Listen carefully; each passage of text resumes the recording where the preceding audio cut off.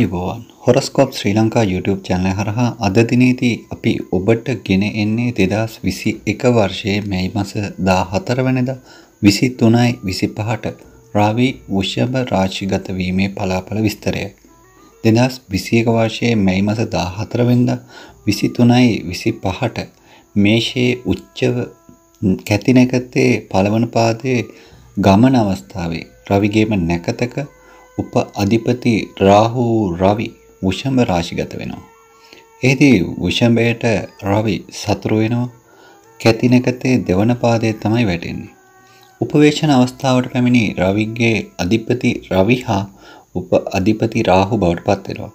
මේ අවස්ථාවේ ලග්නය මකර කටක හෝරාව දීර්ඝාණයේ වෘෂභ සප්තාංශකය කන්‍යා නවාංශ මේෂ ද්වාදශාංශක වෘෂභ ත්‍රිංශාංශකය මීන රවිගේ කාලසීමා නොගෙවන අයට මෙහි තියෙන බලපෑම අවමයි. මේ හේතුව නිසා ඔබගේ ජන්මපත්‍රය අනුව මේ தත්ත්වයේ බලපෑම විග්‍රහ කරගන්නට වෙනවා.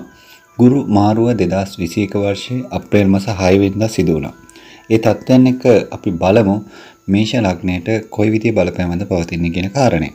මේෂ ලග්න හිමි ඔබගේ ජන්මපත්‍රයේ තියෙන ඔබගේ අතේ ඒ අනුව එහි මේ කියන පලාඵල විස්තරය ඊට සාපේක්ෂව වෙනස් වෙන්නේ කොයි ආකාරයකටද සංශෝධනය වෙන්නේ කොයි ආකාරයකටද කියලා තීරණය වෙන්නේ ඔබගේ ජන්මපත්‍රය අනුව. ඒ නිසා ඔබගේ උපන් දිනේ උපන් වෙලා උපන් ස්ථානය ලබා දීලා ඒ අනුව මේ පලාඵල විස්තරය කොයි ආකාරයෙන් සංශෝධනය වෙනවද කියලා දැනගන්නට උනන්දු වෙන්නට ඕනේ.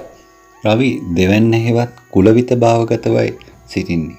රවිගේ සතුරු බලයේ හේතුවෙන් අස්ති සම්බන්ධයෙන් මේෂ ලග්න හිමියන්ට පීඩා වීමක් තමයි ඔන්න පෙන්වන්න කරන්නේ.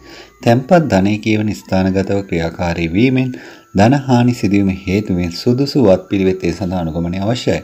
ධනකාරක ගුරුගේ මාරුවත් එක්ක 11 වෙනි හෙවත් අයභාවයේ සිටීම තුළ නව ව්‍යාපාර නව ආදායම් ක්‍රම නිර්මාණය වෙන තත්ත්වයක් ඔන්න ඇති කරනවා.